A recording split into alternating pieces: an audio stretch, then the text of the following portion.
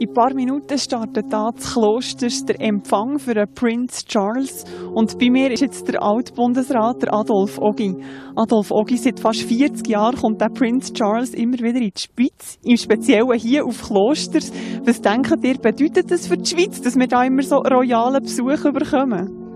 Es ist wunderbar für Kloster, es ist wunderbar für das Prättigau, es ist wunderbar für den Kanton Graubünden, es ist wunderbar für die Schweiz.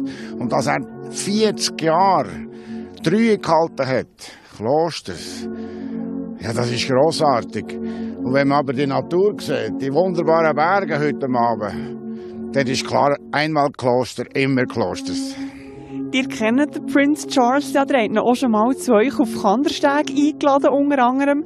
Was ist das so für einen, der Prince Charles? Das wird, man kennt ja, ist echt so vom Fernsehen, oder eben so das Königliche, da kommt man sonst nicht her. Das ist eine liebenswürdige Person. Die Liebenswürdigkeit beinhaltet Respekt, Anstand, Grosszügigkeit, Aufmerksamkeit. Er hat eigentlich das alles. Und ich hoffe, dass er gleich mal König wird. Genau, sonst ist er fast das ganze Leben lang Prinz, oder? Die haben, glaube ich, auch schon mit ihm Ski gefahren oder gegen ihn quasi. Was ist er für ein Skifahrer? Kommt er da in die Skiferien? Ich habe mal gegen ihn gefahren im Rahmen von dem British Swiss Parliamentary Ski Race. Und einmal hier, Herr Gottsch, noch mit dem Ski gefahren, übrigens mit zweimal, mit seinen beiden Buben. Und ich hatte Angst, gehabt, weil die beiden Buben sind gefahren und ich dachte, dann etwas passiert. Da ist der Rocky dabei, da ist noch der Rocky schuld. Gott sei Dank ist nichts passiert. Er und ich sind auch schnell gefahren, aber doch ein bisschen weniger wild, wenn ich das Wort darf wie die beiden Prinzen. Söhne genau von Herrn Charles. Und wer hat denn gewonnen schlussendlich? Seid ihr oder er der beste Skifahrer?